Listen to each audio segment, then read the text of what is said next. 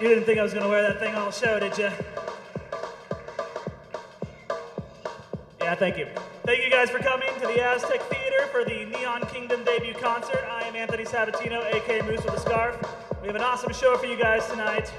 We're going to play through the whole album of my brand new album, Neon Kingdom, like I mentioned before.